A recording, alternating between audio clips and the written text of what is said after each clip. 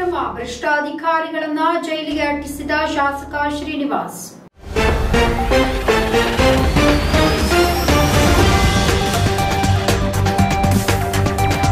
ತುಮಕೂರು ಜಿಲ್ಲೆಯಲ್ಲಿ ಅತಿದೊಡ್ಡ ಸರ್ಕಾರಿ ಜಮೀನು ಗುಳುಂಸ್ವಾಹ ಪತ್ತೆಯಾಗಿದೆ ಸರ್ಕಾರಿ ಅಧಿಕಾರಿಗಳೇ ಸೇರಿಕೊಂಡು ಗೊಬ್ಬಿ ತಾಲೂಕಿನಲ್ಲಿ ನಾನೂರ ಐವತ್ತಕ್ಕೂ ಹೆಚ್ಚು ಎಕರೆ ಸರ್ಕಾರಿ ಜಾಗವನ್ನ ಗುಳುಂಸ್ವಾಹ ಮಾಡಿದ್ದಾರೆ.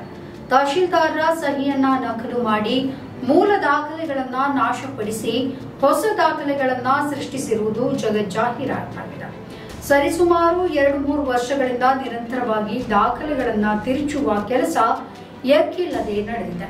ಗುಬ್ಬಿ ತಾಲೂಕಿನ ಹೊಸ ಹೋಬಳಿಗಳಾದಂತಹ ಕಸಬಾ ಸಿಎಸ್ಪುರ ನಿಟ್ಟೂರು, ಹಾಗಲವಾಡಿ ಹೋಬಳಿಗಳ ತಿಪ್ಪೂರು ಹಳೆಗುಬ್ಬಿ ಅಡಿಕೆಕೆರೆ ಈಚಲುಕಾವಲು ಸೇರಿದಂತೆ ಗ್ರಾಮದ ವ್ಯಾಪ್ತಿಯಲ್ಲಿ ಬರುವ ಸುಮಾರು ನಾನೂರ ಐವತ್ತ ಒಂದು ಎಕರೆ ಗೋಮಾಳ ಜಾಗದ ದಾಖಲೆಯನ್ನ ತಿದ್ದಲಾಗಿದೆ.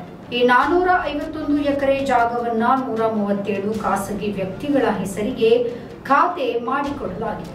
ರೈತರಿಂದ ಬಂದಂತಹ ದೂರನ್ನ ಶಾಸಕ ಶ್ರೀನಿವಾಸ್ ಗಂಭೀರವಾಗಿ ಪರಿಗಣಿಸಿ ಗುಬ್ಬಿ ತಹಶೀಲ್ದಾರ ಆರತಿಯವರಿಗೆ ಮೌಖಿಕ ಆದೇಶವನ್ನ ನೀಡಿದ್ದಾರೆ. ಅಕ್ರಮದ ಬಗ್ಗೆ ತನಿಖೆಯನ್ನ ನಡೆಸುವಂತೆ ಸೂಚನೆಯನ್ನ ನೀಡಿದ್ದಾರೆ. ಕೂಡಲೇ ಕಾರ್ಯಪ್ರವೃತ್ತರಾದಂತಹ ತಹಶೀಲ್ದಾರ ಅಕ್ರಮ ನಡೆದ ಸರ್ವೆಗಳ ದಾಖಲಾತಿಗಳನ್ನ ಕೇಳಿದಾಗ ಕೆಳ ಹಂತದ ಅಧಿಕಾರಿಗಳು ಸ್ಪಂದಿಸಿಲ್ಲ.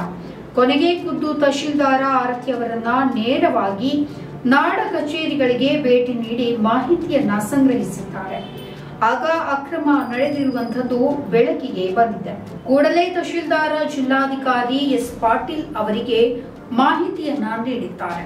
ಅದಲ್ಲದೆ ಜಿಲ್ಲಾಧಿಕಾರಿ ಸೂಚನೆಯ ಮೇರೆಗೆ ಗುಬ್ಬಿ ಪೊಲೀಸ್ ಠಾಣೆಯಲ್ಲಿ ಪ್ರಕರಣವನ್ನ ದಾಖಲು ಮಾಡಲಾಗಿದೆ. ನಮ್ಮ ಈ ವಿಡಿಯೋ ನಿಮಗೆ ಇಷ್ಟ ಆದಲ್ಲಿ ಲೈಕ್ ಮಾಡಿ, ಶೇರ್ ಮಾಡಿ, ಕಮೆಂಟ್ ಮಾಡಿ ಮತ್ತೆ ಸಬ್ಸ್ಕ್ರೈಬ್ ಮಾಡಿ.